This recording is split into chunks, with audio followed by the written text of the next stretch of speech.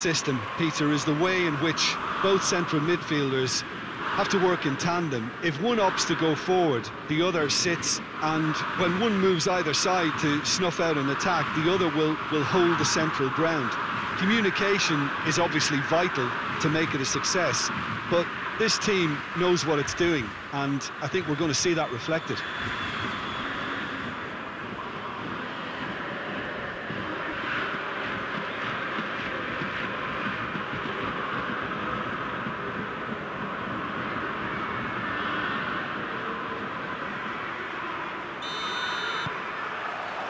There's the whistle, and here we go. And here's Aubameyang.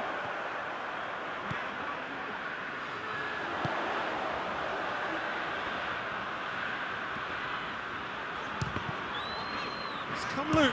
He'll try from distance. Gave it a go, but off target. If he sacrifices some power, he may control the elevation.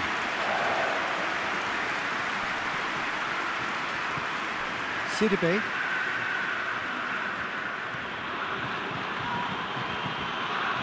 Lovely feet.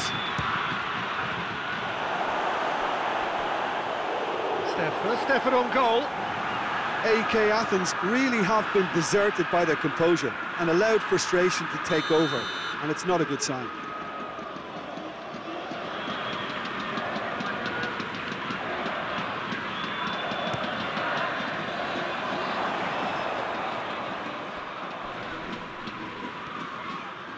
Aubameyang displaying his defensive capabilities there. That's no striker's tackle.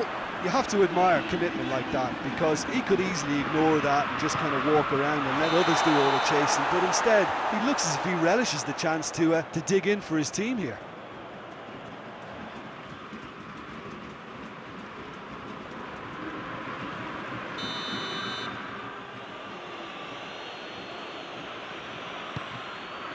Gets it upfield.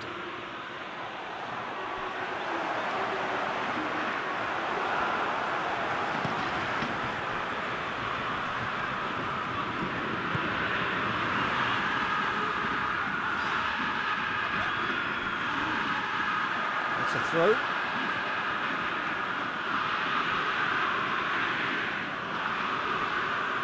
Not a good throw at all, really. He's given away possession cheaply. Kondogbia. Mbemba. Plays it over to the other flank.